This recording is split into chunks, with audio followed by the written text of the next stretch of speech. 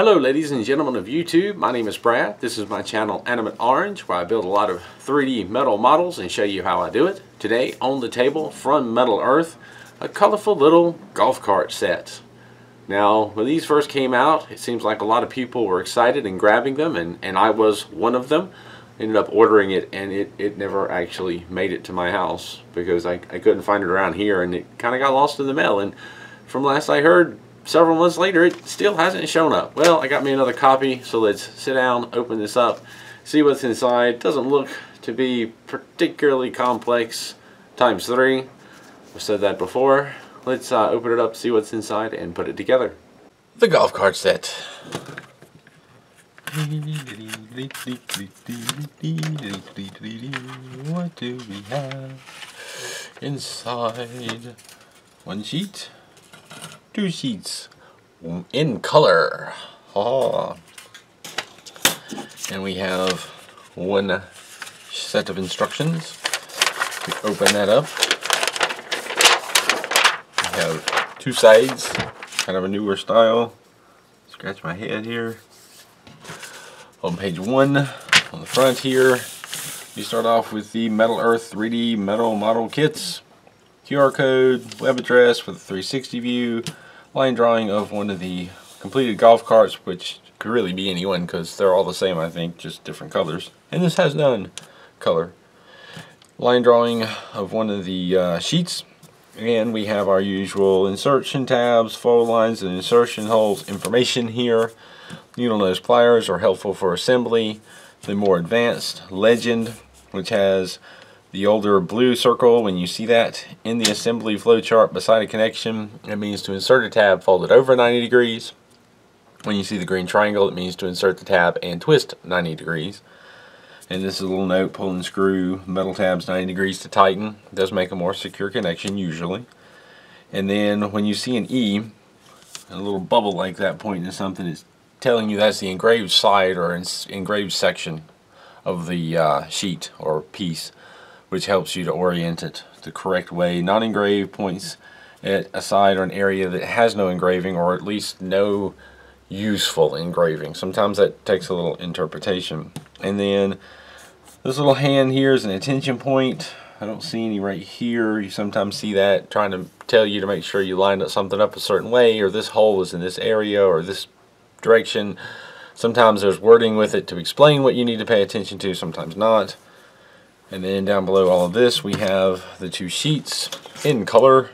wonder if it actually matches the color of the sheet. Let's see here. No, it does not. There's a color code stuff that's the same part and that's very cool that they do that. It makes things easier to find but here you kind of expect it to be the color of the individual carts but it's not. It sticks to the previous um, arrangement where these are all blue. These are all the exact same part actually black on here. And these are all green. There are actually multiple colors depending on which card it goes to. But yeah I still like the fact that they do that to help you identify like parts. So they only have the number let's see this is 13 so these would all be 13 all these blue ones would be 13 this is 16 so all these reddish orangish almost rust colored would be 16 so that's what that's all about. Put that aside and slide over to page 2. To the start of the assembly flowchart, we start with part 1, part 2, and we begin to build one of the models. And I suppose you get to pick the colors that you want to use. Let's get all the way through this. And then we've got 3 and 4, 5 and 6, you just follow the arrows and sub-assemblies, putting all the parts together. You get to the bottom, flip over to the other side. To page 3, you pick up with part 7, part 8. Just add the parts on and complete. Continue building the model.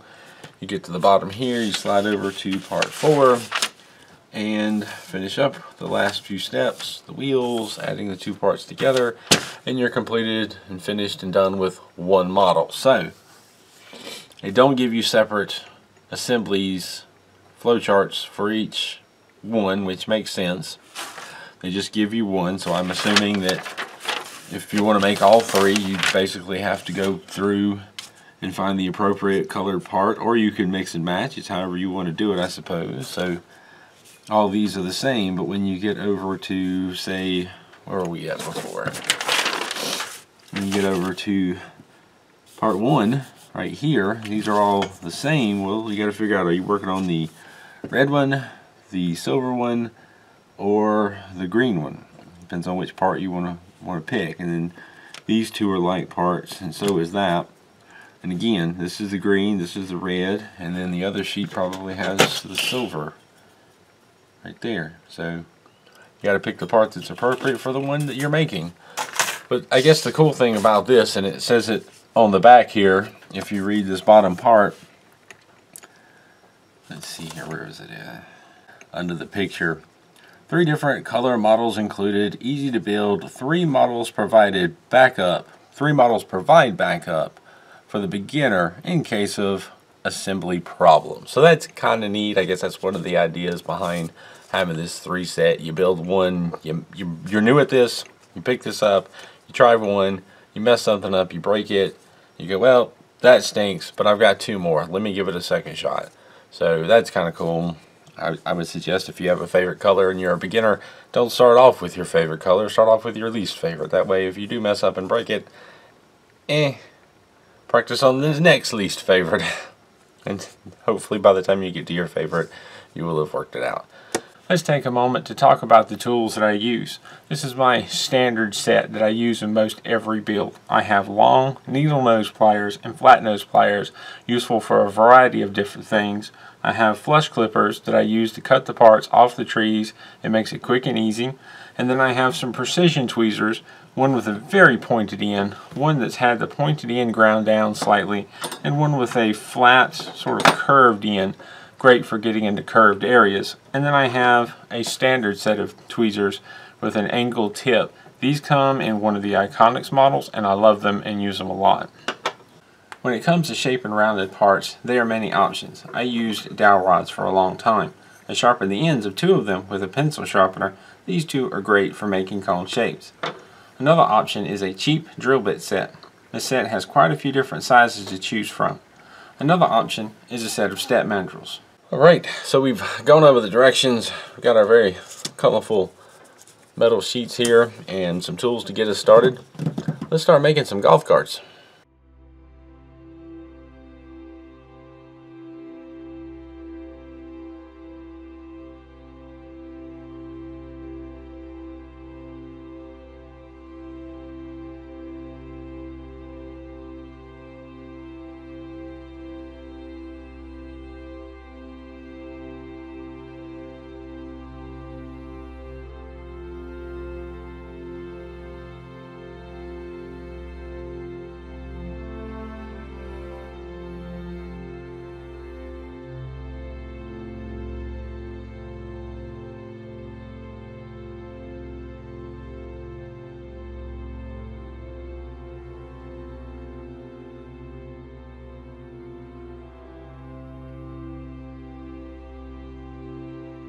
The middle tab here was in a tight spot. It bent over trying to get the tweezers behind it to twist it, so I just went with it and bent it over. Unfortunately, you can't quite see it from this view.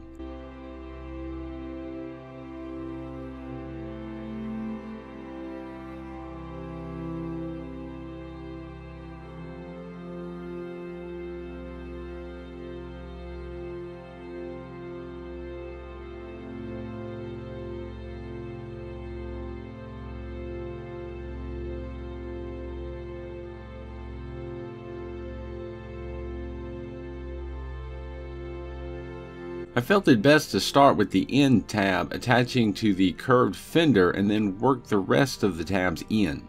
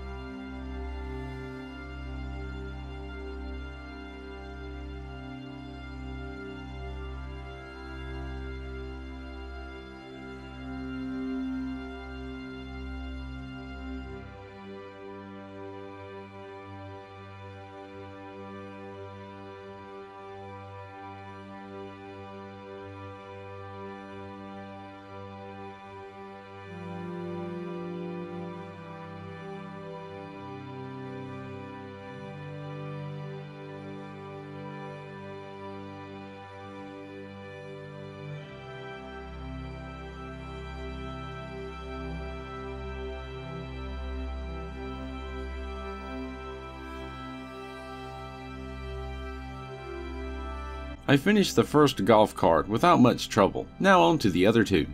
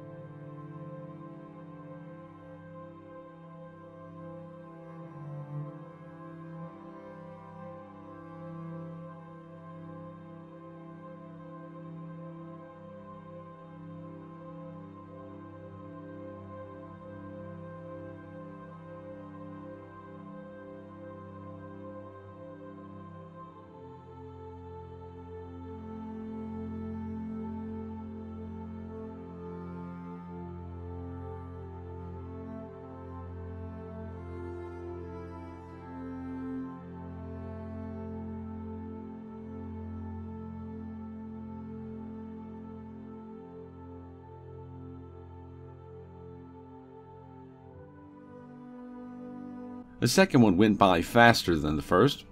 No surprise there.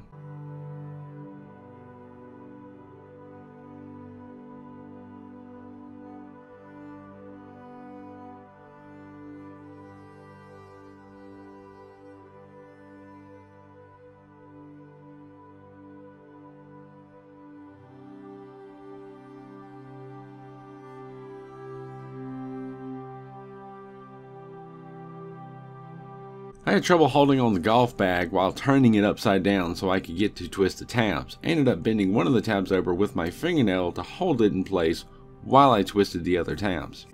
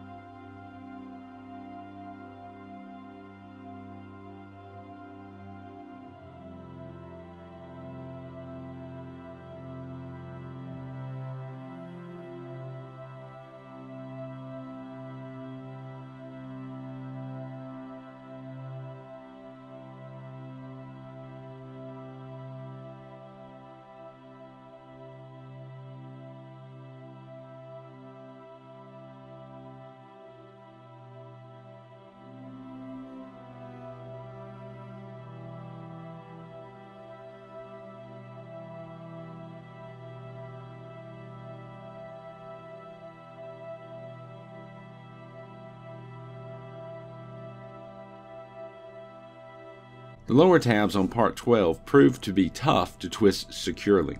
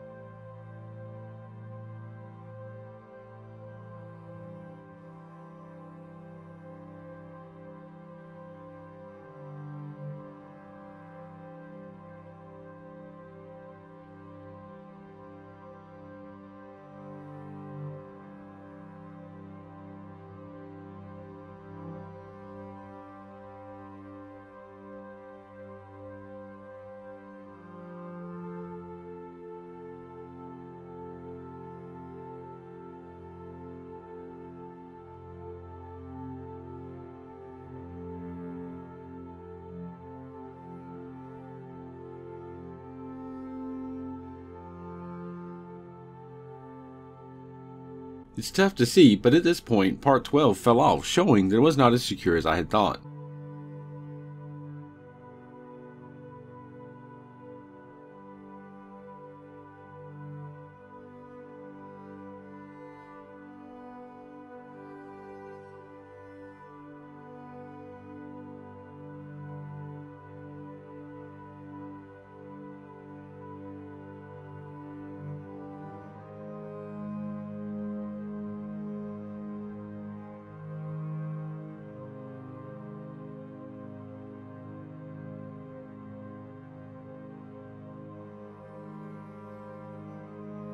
And for whatever reason, the first time I bent over this tab in the front, I had no problem, but this time, everything pushes inward.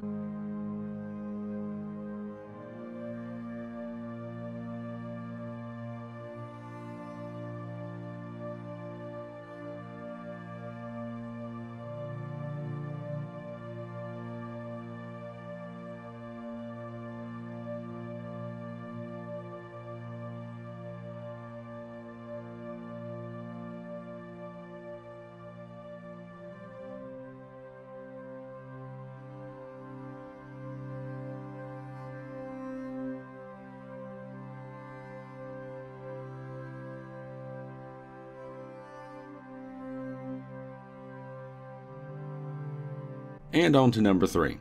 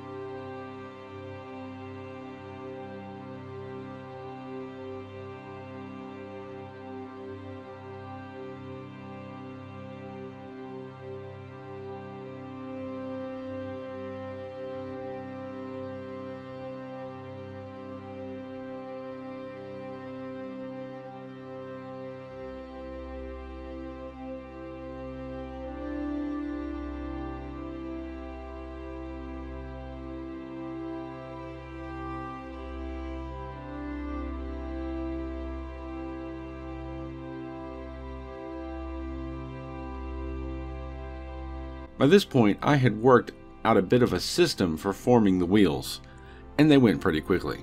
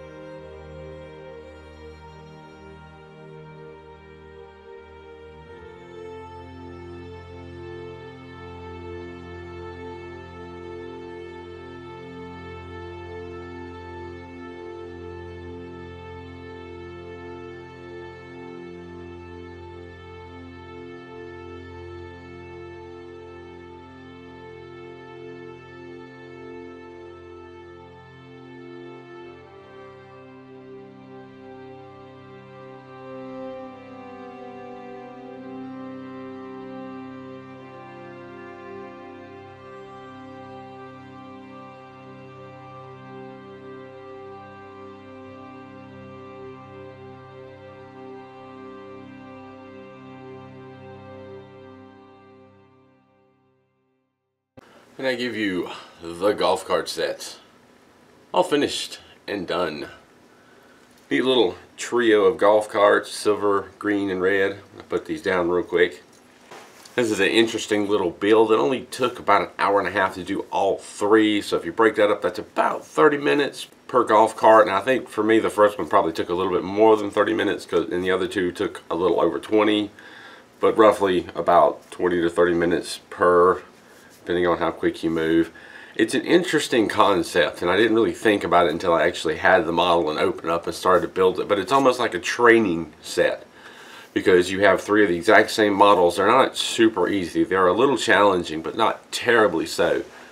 And you get to try them one at a time. So you can kind of practice. You mess the first one up. Oh, well, you've got two more. So for the price of one kit, and I don't think it's one of the more expensive ones, you get a chance to try three times on the same model. So it's an interesting little sort of intro practice kit if you look at it that way. Or if you just want a trio of golf carts, well there you go, there's a trio of golf carts. Either way, it's an interesting model, an interesting concept, and I wonder if, I think that may be how they meant it. It's sort of a training, sort of a practice, sort of a give this a shot and see if you like it. You've got three tries to figure it out. Kind of an interesting concept. In the end, neat little builds. Another fun one to do another to add to the collection. I enjoyed it. They look pretty neat. Never thought I'd be excited about golf carts, but hey, there you go. And really, golf carts kind of began this whole electronic cart phenomenon that's used everywhere, especially in warehouses and industrial situations. But anyway, I'll leave it at that. If you have any questions or comments, as always, feel free to leave them down below. Consider supporting my channel so I can keep the videos coming. Check out my Patreon. There'll be a link in the description down below and at the end of this video. Thank you for watching and keep on keeping on.